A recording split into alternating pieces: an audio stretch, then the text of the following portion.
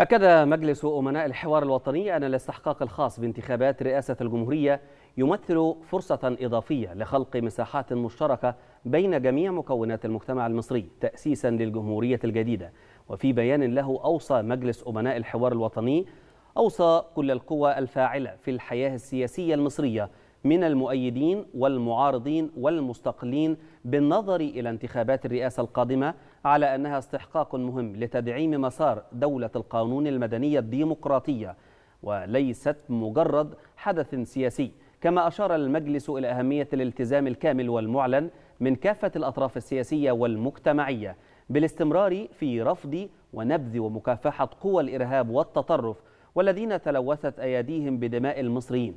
وأولئك الذين مارسوا العنف وحاولوا توظيف الدين في العمل السياسي.